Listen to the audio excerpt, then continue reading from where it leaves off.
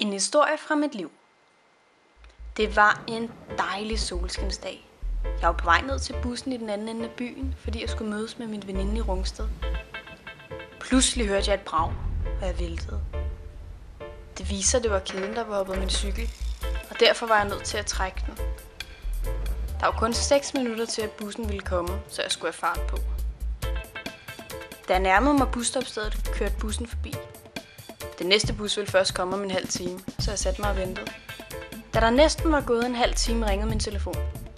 Det var min veninde, der sagde, at der var kommet noget i vejen, som hun ikke kunne ses i dag. Så alt i alt var det en meget irriterende dag.